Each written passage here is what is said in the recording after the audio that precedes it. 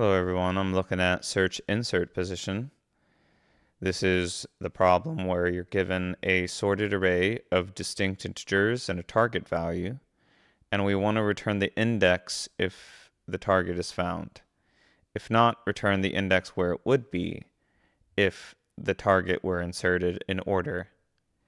So target is 5, the index of 5 is 2.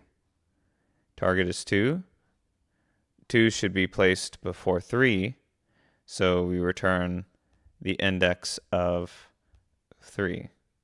So this is where it should be placed. Um, the index for 7 would be outside of this range, 0 to 3 indexes. It would be placed at index 4, which we do not have.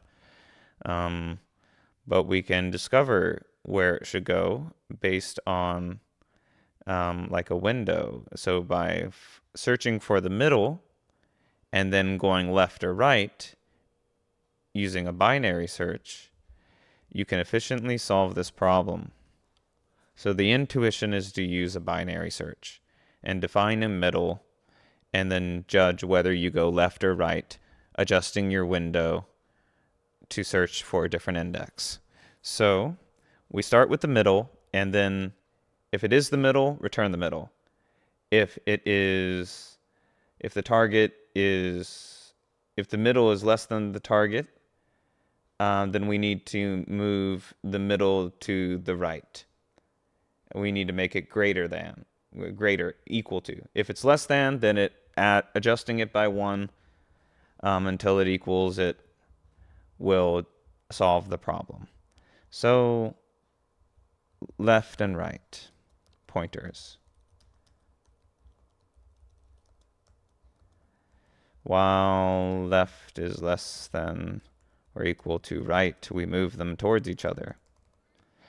Um, all the while, we dynamically change the index. This is going to change based on the numbers, based on our window. Left plus right divided by 2 will tell us the middle.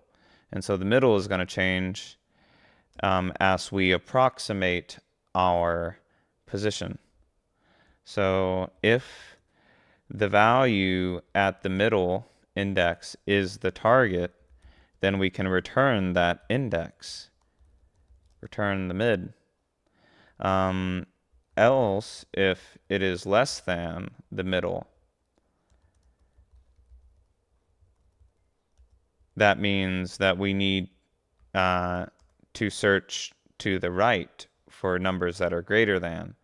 And so we move our window from the left and pull it to the right.